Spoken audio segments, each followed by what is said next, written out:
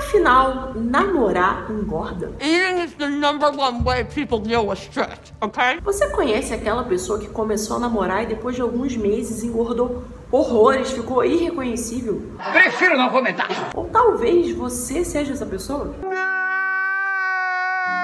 Tô aproveitando essa data comemorativa para quê? Para botar o dedo na ferida e você que tá aí já pode botar o seu dedo no botão de like, porque mesmo que você não tenha namorado, você vai gostar desse vídeo. Ai, que tudo! Gente, é muito comum eu receber mensagens e e-mails de pessoas, né, principalmente mulheres, dizendo que não seguem uma alimentação saudável ou não têm uma rotina de exercícios porque o parceiro, né, o namorado ou o marido não ajudam, né? E aí são mensagens do tipo: Eu não tenho como seguir uma alimentação saudável porque todo dia meu marido chega em casa com um chocolate, com uma pizza, com uma coisa que não tem nada a ver com a dieta. E aí eu não resisto e tenho que comer. Bom, será que o problema tá no seu namorado ou tá em você? Será que a gente não fica arranjando outras pessoas, arranjando alguém para colocar nela a responsabilidade que é nossa?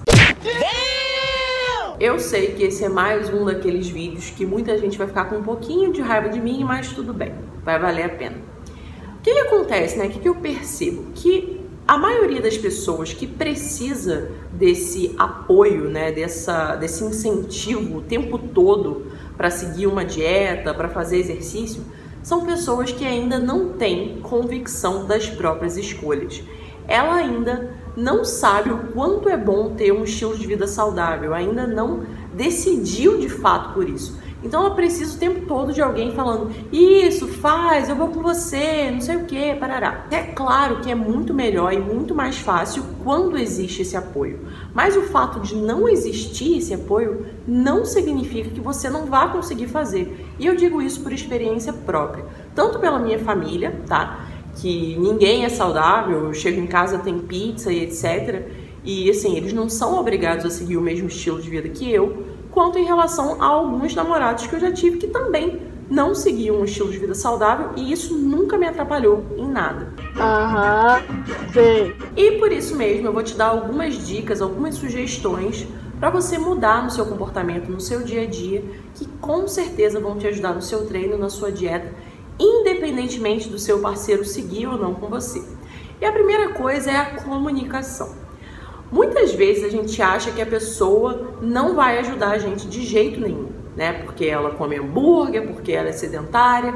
Então, se eu começar a ter um estilo de vida diferente, eu tenho na minha cabeça, eu penso, né, que ela não vai me ajudar. Porém, você já comunicou ao seu querido companheiro, namorado, que você quer fazer exercício ou que você quer seguir uma dieta, uma alimentação mais saudável, esse é o primeiro passo, porque se você não pede ajuda, se você não comunica, como é que ele vai adivinhar a criatura? Não sei. Mulher tem muito disso, ela acha que tá namorando com a melhor amiga dela.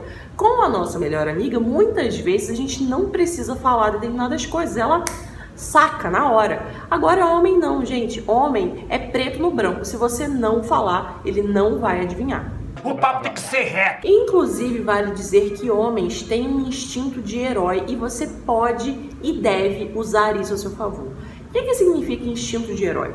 O homem gosta de ajudar, gosta de se sentir útil, né? De fazer a mulher feliz. Claro, os homens é, saudáveis. E aí, o que, que você pode fazer? Você pode envolver o seu marido, o seu namorado no seu objetivo seja estimulando ele, seja agradecendo por qualquer micro ajuda que ele te der, e assim ele vai ficar cada vez mais engajado em te ajudar, em te assessorar nesse seu objetivo, seja de emagrecer, de ganhar massa magra, de melhorar a alimentação, de ter né, uma frequência maior nos exercícios. Ou seja, o que, que isso significa na prática? Ao invés de você ficar reclamando das coisas que ele não faz, né? Ah, você não vai treinar comigo, não sei o quê. Não, você pega uma coisinha boa que ele faz, né? Seja te levar um dia na academia e agradece muito e enche ele de carinho e fala que foi muito especial, que foi muito bom, que, ou seja, esse seu comportamento vai estimular essa criatura a te ajudar cada vez mais de diversas formas. É verdade. Quer dizer, às vezes não. Outra coisa muito importante que eu vejo acontecer com uma frequência absurda. Né? Se você quer incentivar uma pessoa a melhorar o estilo de vida dela, não adianta você ficar falando que, olha, fulano, você tem que comer melhor, você tem que se exercitar. Você precisa ser exemplo, você precisa dar exemplo. Não adianta você falar uma coisa se daqui a duas horas você está se enchendo de chocolate, de pizza, de tudo, de brigadeiro, deixando de ir para academia por causa de qualquer motivozinho. Ou seja, você tem que ser consistente nas suas escolhas. Você tem que ser e fazer aquilo que você fala para o outro fazer. Senão, gente, você acaba confundindo o ser humaninho que está do seu lado, né? Porque um dia você fala assim para ele, ó, comecei a dieta, hein? Não traz nada para mim, não. Tô focadíssima, quero emagrecer, parará. Aí, dois dias depois, você vai lá e compra chocolate. E ainda fala com ele assim: Olha, estou de TPM, estou puta que você não trouxe chocolate para mim.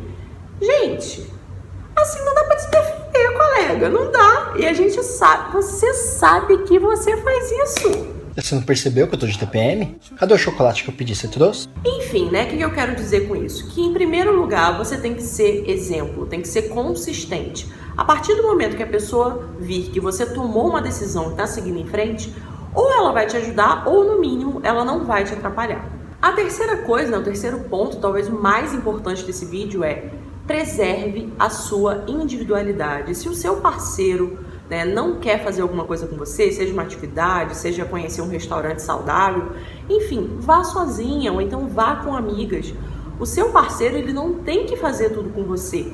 Né? Mulher, no geral, tem muito essa crença de que, pronto, tá no relacionamento, então os dois viraram um só, tem que fazer tudo junto. Gente, isso não é saudável, tem que existir uma distância ali, até para ter saudade, até para vocês né, é, viverem a individualidade de vocês fora do relacionamento.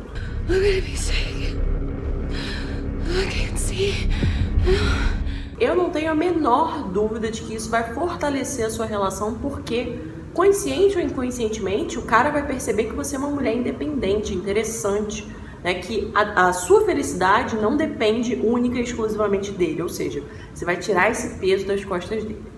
Bom, e a quarta coisa é cuidado para não ser mãe do seu companheiro. Porque o que eu vejo, gente, é claro que quem ama cuida, né? Mas eu vejo algumas mulheres querendo ser mães, ou médicas, ou psicólogas, ou enfim, qualquer outra coisa dos seus companheiros quando na verdade elas deveriam ser companheiras também. Você é responsável pelas suas escolhas pela sua saúde, assim como ele, como adulto, é responsável pela saúde e pelas escolhas dele. Não cabe a você ficar escolhendo ou decidindo o que ele vai comer, como ele vai se exercitar, né, o que, que ele tem que fazer. É claro que se ele pedir sua ajuda, você pode e deve ajudar. Eu recomendo que faça isso. Mas se ele não está preocupado com isso, por que você tem que se preocupar por você e por ele? Tô triste, não tô feliz. Bom, gente, eu intuí que eu deveria fazer esse vídeo, né, aproveitando essa data. Não tem exatamente a ver sobre fitness, mas é uma questão que me perguntam muito e que eu trabalho bastante nas sessões de coaching. Então achei que valia a pena.